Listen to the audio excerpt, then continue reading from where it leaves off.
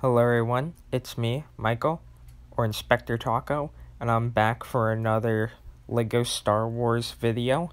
This time, the Mandalorian's Forge has been revealed, or as it's officially known, the Armorer's Mandalorian Forge has been revealed, and it has 258 pieces and should retail for $30 as a store exclusive on September the 1st, right near my birthday.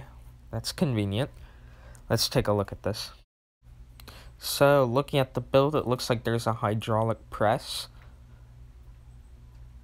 It also looks like there's a cabinet that is going to contain some tools used in the show. The classic broom, an unmarked Mandalorian helmet, the Mandalorian trademark sign above the forge, which has become so iconic, what looks to be an anvil or a blade sharpening tool, and a, a flaming kind of fireplace, you know, that would be used to craft like swords and stuff as you would see in a blacksmith shop. And that is the main forge itself. You could see lots of blue flames there, which is rather nice. Overall, lots of nice detail here, along with some more tools connected to the sides. Looks like you might be able to turn the main flaming section of the build. That'll be cool. Let's take a look at those minifigures. Well, there's three minifigures here. Technically, they're all exclusive, but really, when you look at prints, only two are. The one thing that makes this version of the Mandalorian exclusive is that instead of a cape, he has a jetpack, and that's really cool. It's the first time the jetpack has ever been in that color, as far as I know, and it's the first time the Mandalorian has ever had a jetpack uh, in Lego minifigure form. We have the Mandalorian Armorer, and she should have like some kind of like fluffy coat piece, but instead they just print it, which feels lazy. Also, there's a lazy helmet reuse.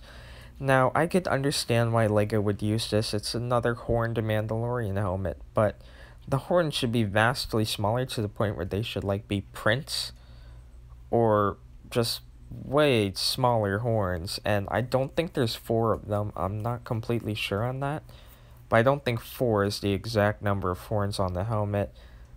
Yeah, there should have been like a coat here to make the armor feel more well-rounded and buff on the character. Not to I'm not saying the character is very muscular. I'm just saying that there needed to be some kind of fluffy coat piece to make them feel like they're really wearing armor. Instead, it feels like they might just be wearing a jacket or a shirt, and it just doesn't feel good enough. Next up, we have Paz Vizsla, and I just love the look on him. Completely covered with detail from head to toe. He uses that new armor piece that makes him look really bulky. And again, I can I can feel that Paz Vizsla is wearing armor and heavy armor at that, but the Mandalorian Armorer should also look like she's wearing armor. Instead, she looks like she's wearing a shirt with a vest over it. It, it just doesn't look that good, but Paz Vizsla is awesome. He has a cool pack. I think it's his jetpack. Nice sand blue color scheme. That's all from the minifigures. Well, I hope to get this set. It looks rather nice, the main appeal being the minifigures, with them being exclusive and all that. Really nice build too. I think the unmarked Mandalorian helmet will be good. I forgot to mention, but there's a small Mandalorian hologram off to the side. It's, it's a cylinder, not a specific piece or specialized piece.